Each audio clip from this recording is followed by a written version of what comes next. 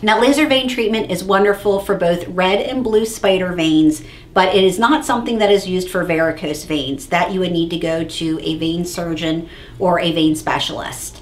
For the spider vein treatment, we use this handpiece on our laser. And basically this is gonna give me the proper distance between the actual laser, which is in here, and the skin.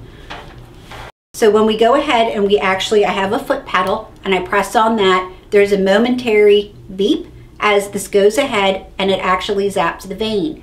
What it is actually doing is coagulating the blood that is inside the vein and then that causes it to close up or in some cases it may even burst.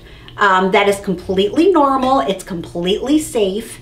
The one thing though is that if it does break, you may get a tiny bruise that may last for a week or two. Other than that, the vein disappears. For some people with worse veins, they may require a second treatment and that in itself is not unusual.